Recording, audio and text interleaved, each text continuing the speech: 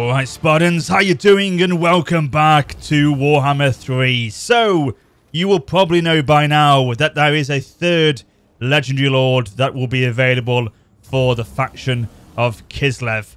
And who is that? Well, it's Boris, ladies and gentlemen. No, no, no, no, no, it's not that Boris. He's too busy having parties. This is Boris Ursus, the legendary Red Tsar of Kislev, the father to Tsarina Katarin, the Ice Queen of Kislev. So he will be the third legendary lord playable for the game as Kislev.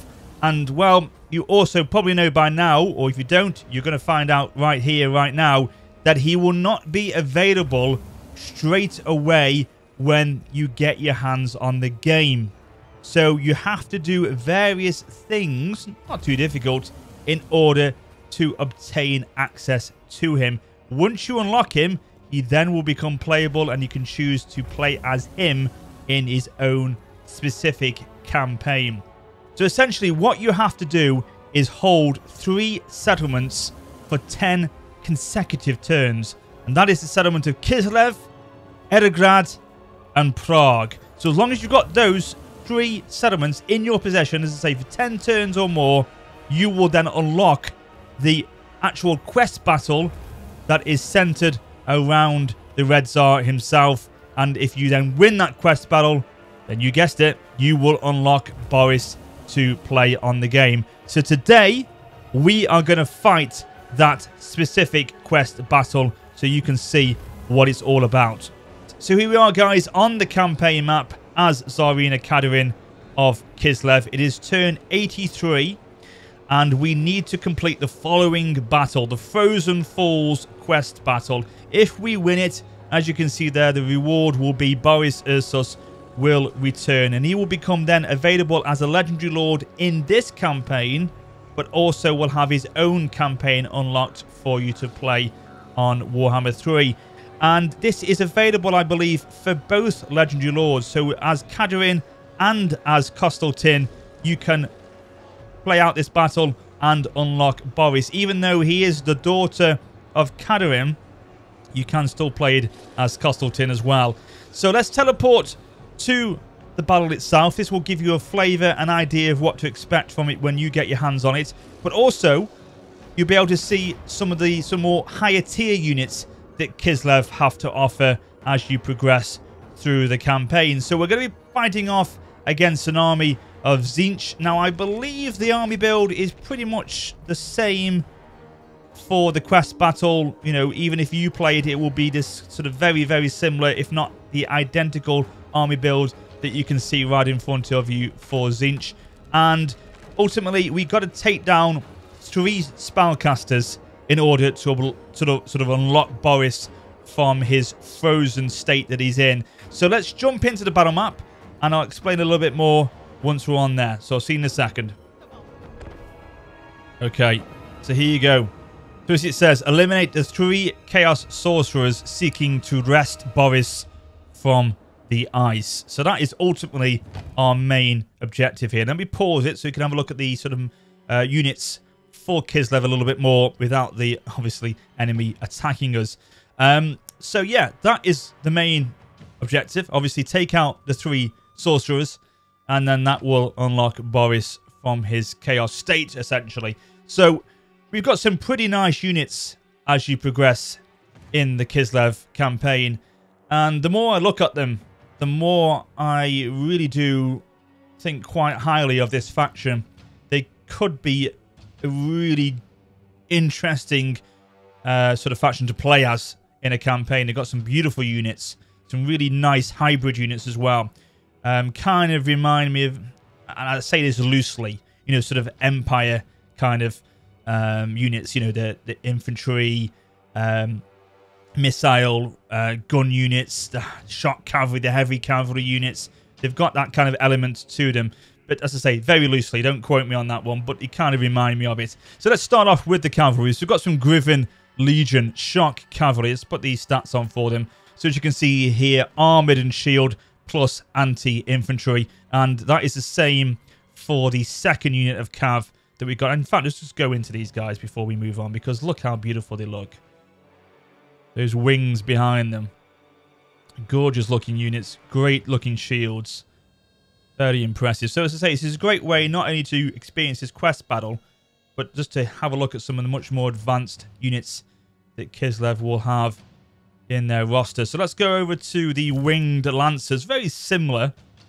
And they are the same in terms of both, you know, the Gryphon Legion and the Winged Lancers. Very similar. Both armoured and shield. Both anti-infantry. Both shock cavalry. A little bit higher, though, in terms the Gryphon Legion are, as you can see in their stats. A little bit more based sort of health, as well as, uh, you know, look at, the, look at that, all the increases in armor, leadership, um, melee attack, melee defense. So they have got a nice bit of stat increase over the Winged Lancers, but uh, their speed is just a little, little bit slower. But apart from that, probably the higher tier quality uh, of the Gryphon Legion coming through over the Winged Lancers. Um, so those are the two cavalry units we've got. Now, as I say, we have got our gun uh, units at our disposal. Now, these are sort of, as it says there, hybrid in a way. They've got great, great, or gun and great axe infantry. So they've got that hybrid mechanic about them. Hybrid unit, armored, armor piercing, and decent melee combatant. Kind of again, and this is me going way back because, I'm, as I say, I'm not too up to date with my mechanics with Warhammer but they remind me a little bit of kind of the Lothern Sea Guard units where they were the hybrid spear and uh, missile units that the High Elves had. Kind of that mechanic reminds me a little bit of them. But again, very loosely, I quote me on that one. But yeah, these are called the uh, Stretsly, or Stretsly? Yeah, Stretsly? Yeah, Stretsly. Um, so those, we've got three units of them. And then if we go over here, we've got the Ice Guard, these sword variants. So again, hybrid bow and dual sword infantry, hybrid units, anti-infantry with the frostbite mechanic as well. As you can see, this intense cold cuts into the flesh and burns the foe's extremities, greatly reducing their speed. So that's a ability that they have got in their arsenal.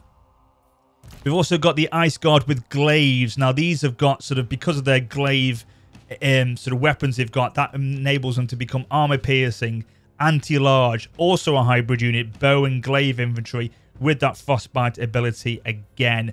Lovely mechanics the Kislev units have got here. A lot of variation, lot of options to you to be able to use at your disposal on the battlefield. So yeah, lovely. Ice Guard with glaives. And then we've got the armored Kossars. Kossars. So these are pistol and axe infantry. So a little bit again of that hybrid variation. Armored and shield, special ranged weaponry. So they have got, we've got three of them, I think, in this army. We have indeed. Then we've got the Tsar Guard, armored and shield. You sort of basic, not basic, but strong sword infantry units to uh, to send into battle. And we've got uh, two units of them. And then we've got the great weapon variant, which you obviously can imagine again with that great weapon, enables them to be armor piercing as well and anti-infantry. So yeah, they are very nice to have in your front line. Now looking at the more specialized units, we have got Vadim Kuchev. Now he is a Patriarch and he is... Battle. Let me go over here. Let me see if I can try and get his abilities for you so you can see that. Uh, da, da, da, battle prayers. So this unit can learn prayers to support allies and defeat foes in battle. He's got three abilities to him. He's got the um, active regeneration uh, spell or ability, which will help with his hit points.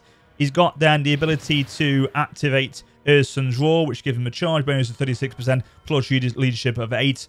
And then he's got Potion of Healing, which is again an active ability of regeneration for his hit points against combatants. So again, this is very much a unit you're going to send into melee combat to be in the front line to help with uh, your infantry units to support in combat. Now we have got more of these spellcasters here. This is the Evelina uh, Bebchuk. And she's a spellcaster. She's armored and armor piercing, so she can hold her own in, in, in the fight in combat as well. But obviously you want to probably utilize her more for her spells. She's got the augment spell of Swift Wing, which will give a charge bonus of plus 40% and speed of plus 25%. She's got a lovely Vortex spell, which is a large explosion area, obviously causing damage and frostbite. And then we've got the Law of Tempest, which is expanding moving forward area of effect spell. against the enemy. And then it is, as you can see there, that damage of 24 per second. Interesting as an area of effect spell. And then we've got the Hailstorm, a bombardment spell. I always love a bit of bombardment spells in, in Warhammer. Medium strike area, damage, obviously, explosive damage is 30 on there, and range damage is 36. And then over here, she can summon a Snow Leopard, which is very good against single combatants. Or I think it's I think it's anti-large. The uh, the Snow Leopard is. We'll, look, we'll look at that when we we summon him in a minute. And then we've got channeling staff, channeling staff, which is a augment spell. Um, and again, it's uh, it's active. It's, I don't know what actually what that one does particularly. Um, or, de or decreases cooldowns by minus 15%. There we go. That's what it will do for us on that. And then we've got Tsarina herself. So she is again kind of a spellcaster, armor piercing, armored, decent in melee combat. And very similar to obviously the spellcaster wizard over there. But she has got a little bit different spell. She can do these Lore of Ice, a, breath, a, a sort of breath spell, which again uh, causes damage and frostbite on contact. She's got Death Frost, which is a direct damage spell of about, you know, you can see there, damage per second of between 34 and 67 points each, second when cast. And it's obviously, again, as you can see, strong versus character, causes damage to combatants. We've got the Ice Sheet spell, Lore of Ice, a Hex spell, minus 25% on charge speed and speed. And then we've got the Lore of Ice. We've got the Heart of Winter, a direct damage spell of, you can see different phases that will be cast and the damage increasing as well as the speed debuff. And then over here, we have got Frostfang, an active ability, explosion, which again will cause damage to the surrounding area, 29 uh, points. Uh, and then we've got the Snow Leopard summoning again. And then we've got an active ability of being able to increase our leadership around a certain area of effect. So hopefully I've explained them okay. Probably not. I'm not the best when it comes to sort of mechanics of Warhammer 3. You know, there's other YouTubers that can do a much better job than me. But it hopefully gives you an idea of what to expect with Kislev. Right, okay, let's begin this battle and let's start getting some units into position. So we'll put our Tsar Guard forward on the front line over there. Now we'll take forward Tsarina and Vadim to support on that center ground over there. On the left-hand flank, we're going to use these guys, the armored Kossars, to start supporting on the left. And they can fire down. In fact, no. We'll get our units of Gryphon Legion to go down there to take them out quickly. They are, they are obviously anti-infantry. They can take them out very quickly and get these units of Kossars to just uh, support against this unit of uh, Screamers over there. But you'll see they're ripping through already. Ripping through them.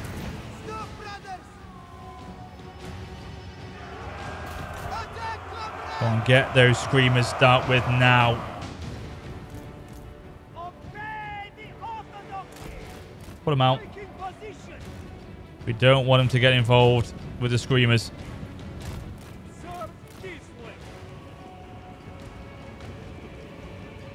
Give him a shot, give him a shot, give him a shot.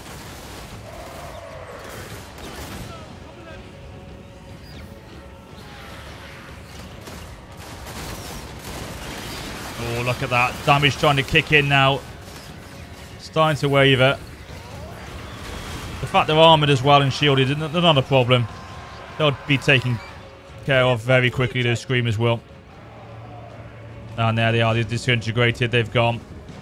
And there go the pink horrors. Lovely stuff. They have been dealt with very easily. So we'll do the same again down here. Using, using missile infantry to support the winged lancers. And they go for a charge against those pink horrors. In fact, look at this. I forgot to show you the bear cav. How could I? The war bears, the war bear riders. What the hell? I forgot to show you these wonderful beasts. Anti-large, armor-piercing, armored. And again, beautiful looking uh, units. Another unit of sort of cavalry, bear cav. So you've got them as well, anti-large instead of anti-infantry like the other two units are of, of shot cav. Right, start firing just a second. Let the cavalry do their work. So you can see this is kind of a staged battle. Um, they are spread across the map, the armies of Zinchar. So we have to sort of take them out little by little, bit by bit. So we'll take these units of Ice Guard Glaives forward. Again, they're hybrid bow infantry units, so they can take out these blue horrors in a second. Put the bear cav over there. So yeah, dart with. So we'll get the calf going a little bit forward. Put them into the tree line over there so they can hide just for the right moment to pounce upon the enemy. And we'll bring these units again forward to uh, start hindering the uh, lines of uh, blue horrors over there. Problem is, if they see us go in, they'll probably see us and we won't be able to be hidden, actually, that's the problem. Unless we can go in. Can we, we hidden now? we hidden? They're probably going to see us, actually.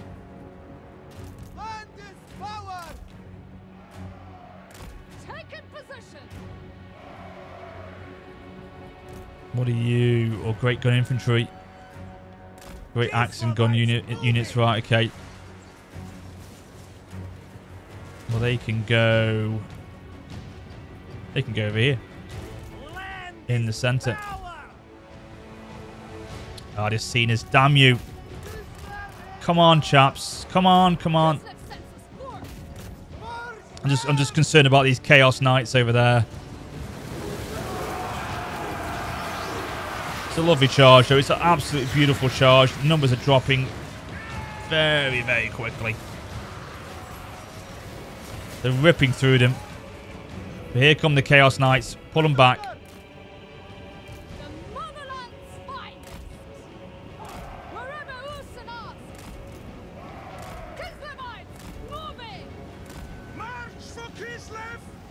Right, hold, hold here. Hold, hold, hold.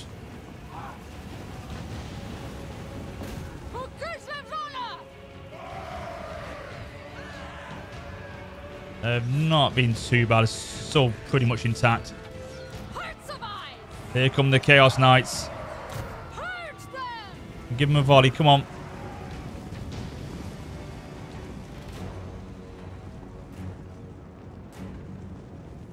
Give them a volley. Come on, come on. In fact, they are shielded as well. They're okay. They can hold. They're armoured more, more than shielded, sorry, but they can hold the ground against these Chaos Knights. Come on.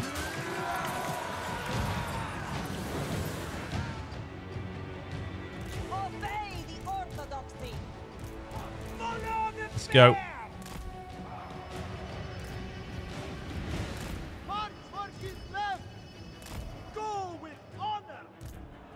I'll counter charge him in a second.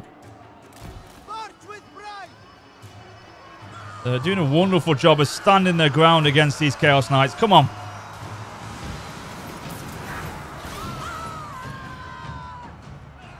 Can't get through. Can get through there. I can pull them through. I can't. Push them through. Push them through. Pink blue hose have gone. Oh, actually, they're still, they're still there, but they're wavering. Come on. Give me that infantry support. Look at the bear cab going down this way as well.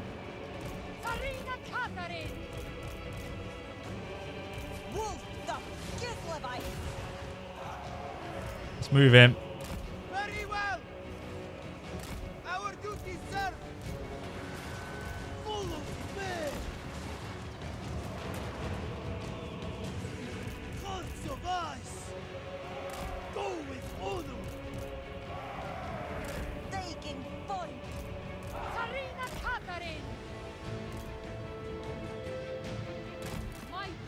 We doing over here? Pinko is still there with his bloody Chaos Knights. Come on. Let's see if we can... Ooh, we can get a Wrath of Bear. No, it's not put, not worth it. Not worth it. Wing Lancers can come back.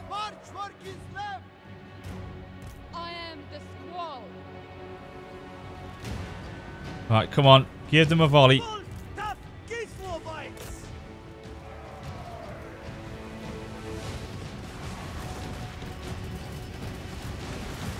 These spawn will go down pretty quick. As you can see, the health is dropping rapidly. Come on, come on, come on. Oh, that's gorgeous. They've dropped very quickly. It's this, it's this right side I'm concerned about. If you can try and get through the, the Chaos Knights. Come on, push through.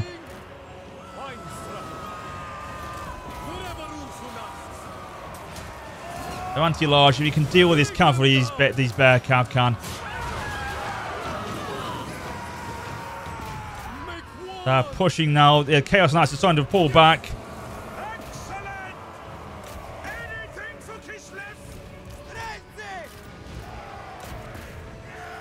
Power! The Come on.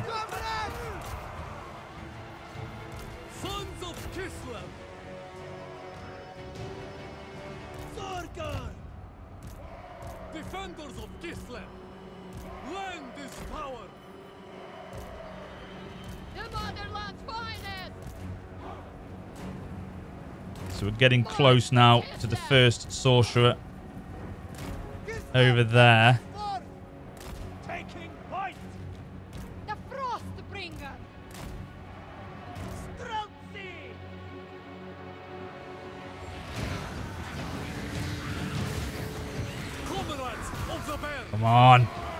Keep going.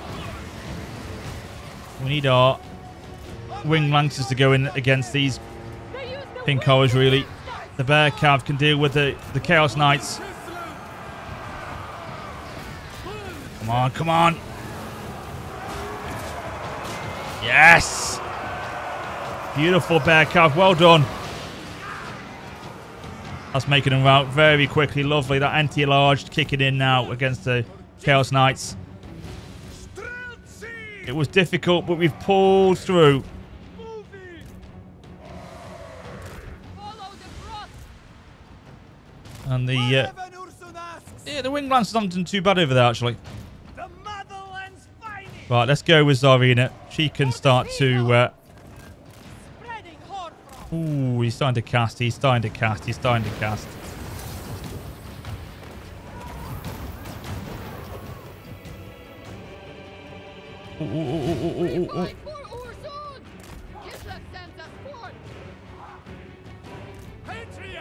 Get that patriarch out.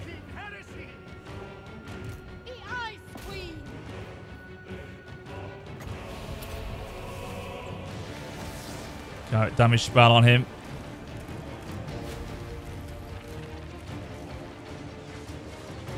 Need the patriarch to go and support Katarina over there.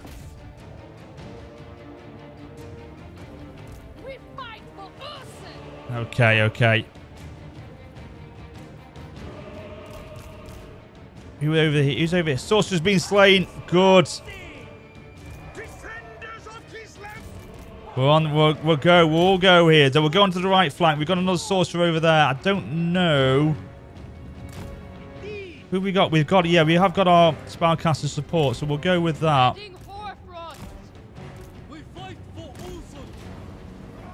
Oh shit! What's this behind us? Streltsy! Annihilate them! That's not what I want to see. A bloody chaos chariot. Maiden! Move it! And we've got a soul grinder coming. Oh great. What's this behind us as well? Another chaos chariot. Bring them down! Get the ranged artillery on him. Come on. Come on. Yes. Beautiful. That with. Now I'm concerned about his soul grinder. He's firing already. Damn it.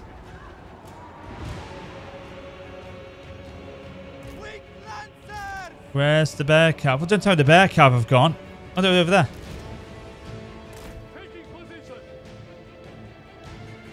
So Katarina's done a good job over there. We've dealt with that chariot as well.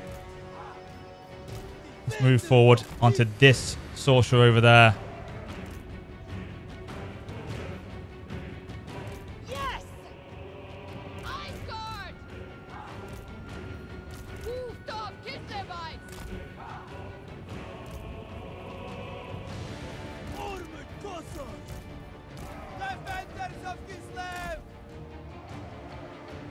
Okay, over there. The Soul Grinder. Come on. Some extra base damage.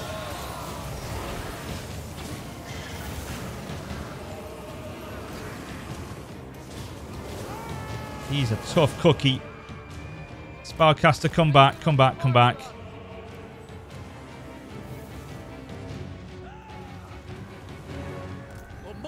We are winning the combat though against him. He's just really got a lot of HP, base HP to deal with. That's the problem. Of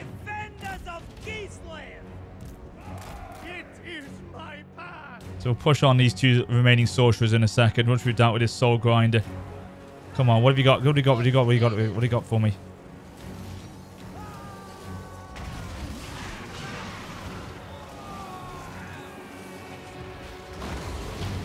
This is anti-large, his snow leopard. Probably don't need him now, but uh, go and get him.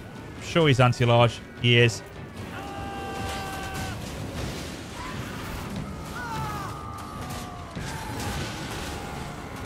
Yes, come on, finish him off.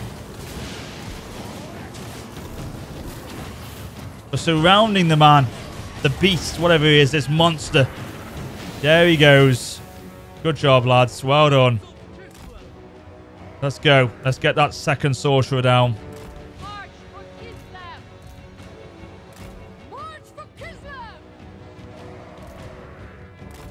The battle's not done yet. There's still more to come. Let's quickly move, though.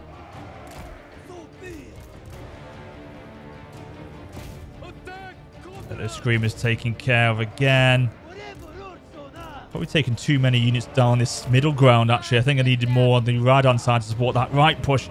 Probably. I think they were a bit more exposed, but not a problem. They should be able to hold their own. They've got some decent units over there on the right-hand side.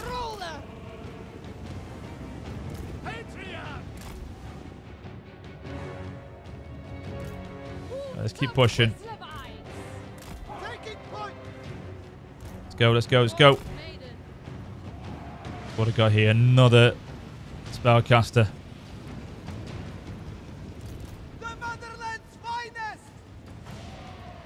Unit of blue horrors over there that the uh, winged lancers could deal with. Take him on the right over there. Yeah, he's already beginning to cast.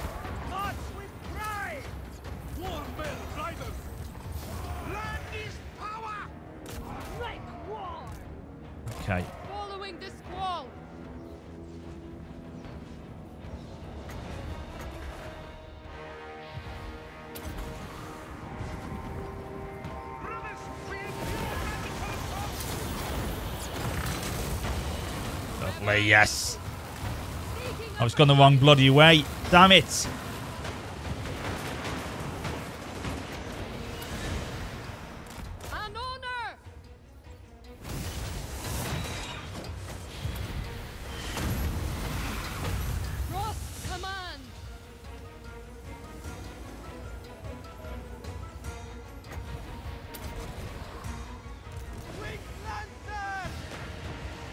Summon, summon, summon, summon, summon. And we've also got some units being attacked down there in a minute. I'm going to need to sort them out. What's come to attack us over here? What are these? Sons of Kislev! Some more pink horrors. And a couple of exalted flamers of Tzeentch. Wonderful. Just what I want to see. Get the bear cav round. Not a problem, no. We'll deal with him.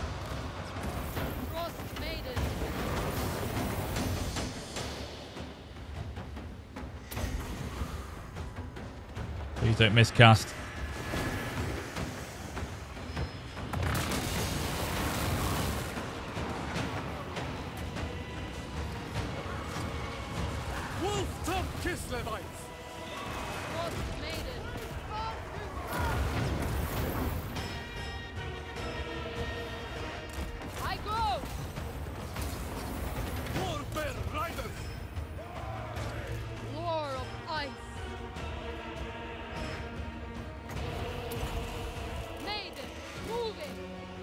Pull them out, pull them out. Get that vortex going.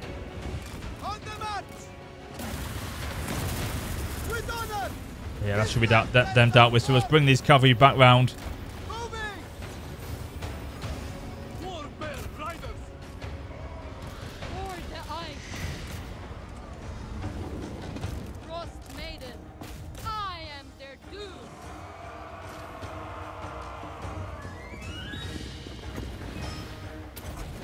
Charge bonus against the sorcerer. Gone.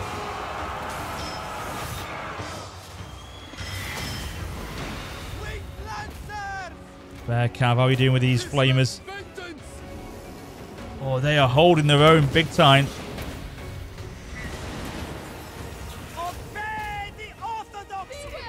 Let's go. Let's go. Let's just absolutely surround them.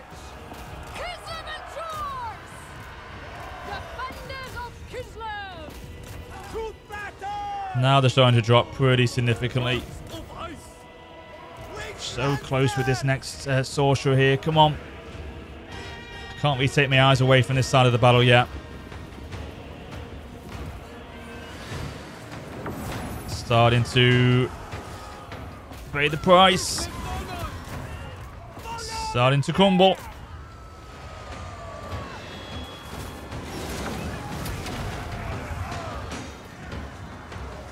Cav doing a great job. There he goes. Just the other one, please. Same again.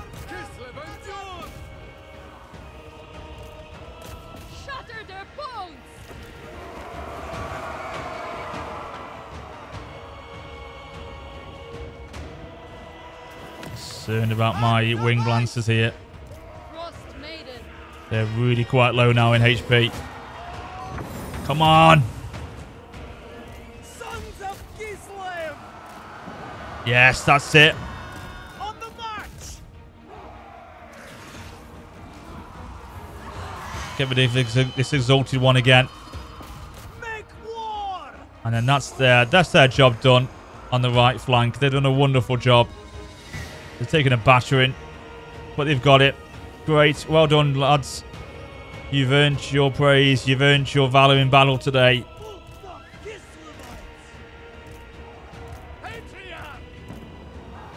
At last, Boris is protecting He stirs, yet there is hope for the motherland yet. Great. Okay, let's go. Let's make this final push now. That's free Boris.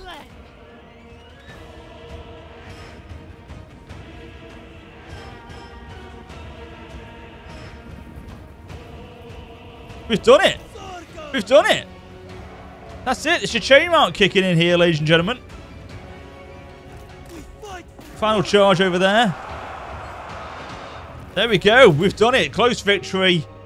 But we've got it. Yes. Well done. So once the quest battle is complete, you are victorious and Boris is freed. You've then got four possible outcomes for him.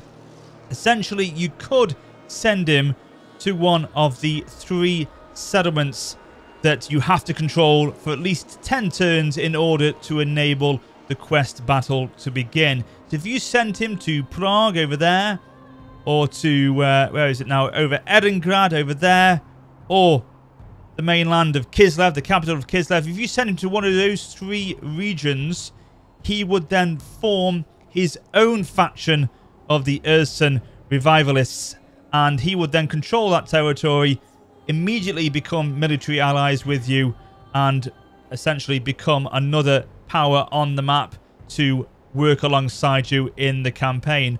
Or the final option is to basically be that he will join your faction direct, and then you could be able to recruit him as a legendary lord into Kislev's own army itself. So you've got those four choices, and then after that, it's up to you what you do with it and where you take Boris or if you control him or not. It's all down to you. But ultimately, the main thing is now that once Boris is unlocked, you can then play your own faction as him on the campaign itself. And if you haven't already, I have done a video of Boris's faction to check out for the first few turns of his campaign to again get a flavour of what to expect from him in the game. And as always, thanks so much for watching, guys. I hope you've enjoyed the video. If you have, please do drop it a like. And until next time, take care and farewell.